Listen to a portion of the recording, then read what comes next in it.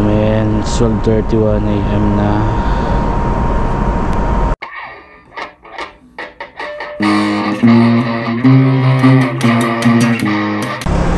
Ooh, it's 12.30 or past 12.30 a.m. And pauwi pa lang ako. How's that?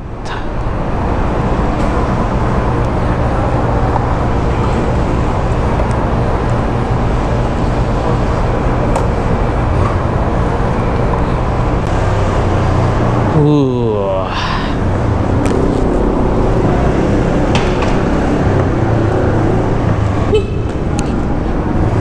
Ah. You know, dumating ako sa office around 12, 12.30 So, well, di pa siya masyadong late kasi yung uwi ko kasi parang naka 12 hours pa lang ako which is kinda normal. It's normal! It's normal. It's just normal to like extend for free Woo! Naantok ba ako? Of course. Of course I feel sleepy as hell. That's why I decided to motovlog para gising. Ang ayaw ko lang pag umuwi ng ganton late kasabay mo mga trucks na malalaki. Of course. Kasi walang truck walang truck ban ng ganitong oras na. Oh iharang mo baby iharang mo. Laki-laki mo nakaharang ka dyan.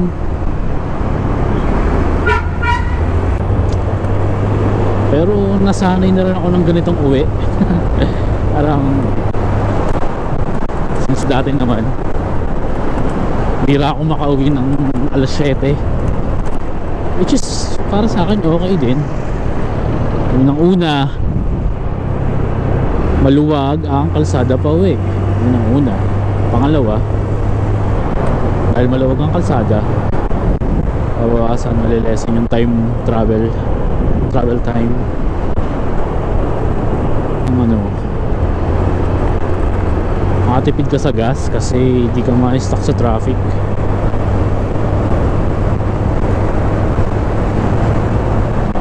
ka mabubugnot dahil traffic.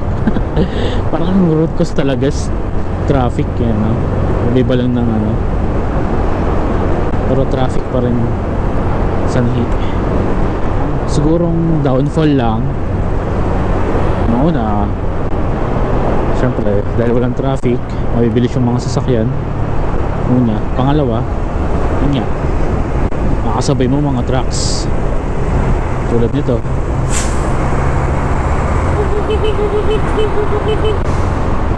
tulad niyan kupal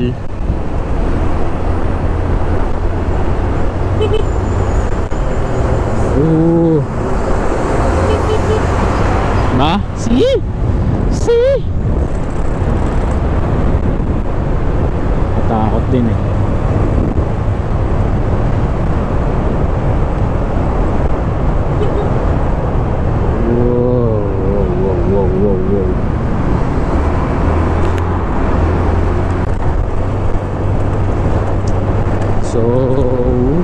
Pag ganitong oras, konting ingat lang sa pagmamaneho.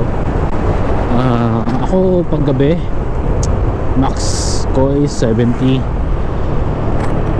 Max 70 na lang ako. Ah. Unang-una, max 70 kasi madilim ang daan, hindi mo alam.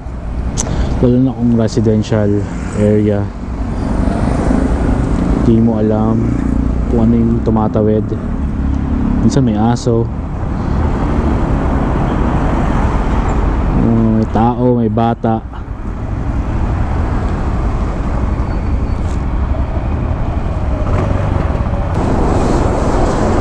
Ah, tinan mo yan, naka-green na 'di ba? Liliko pa yung truck. Ipal din eh.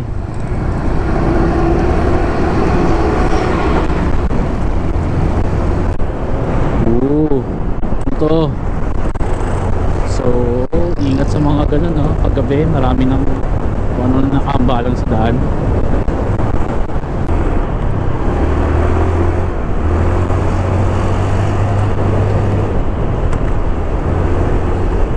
Yan. Lapit na ako.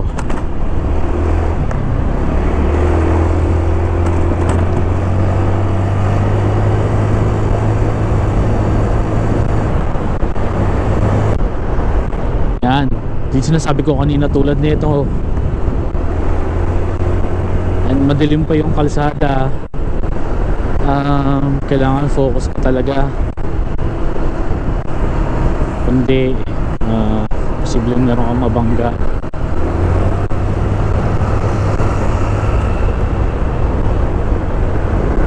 Tulad nito. Yun. Yun.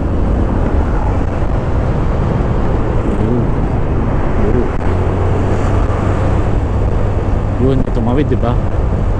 Pero kung di ka focus, di mo siya makikita. Minsan may mga hayop pa dyan. Ah.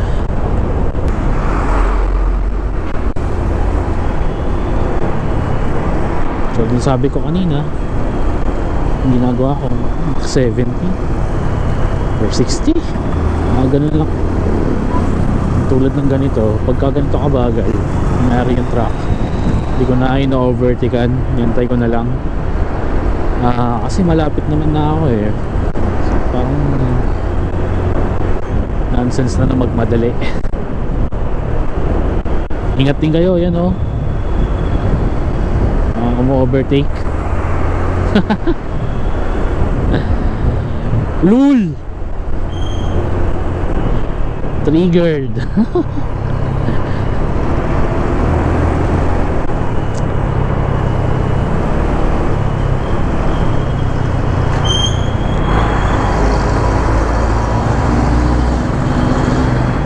So, ito malapit na ako sa bahay. So, maraming salamat sa pagsubaybay at pagsama sa aking pag-uwi. So, thank you. Peace out.